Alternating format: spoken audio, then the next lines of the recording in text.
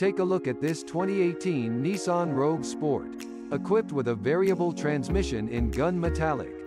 This car comes with some great features including anti-lock brakes, heated steering wheel, audio controls on steering wheel, auxiliary input and more.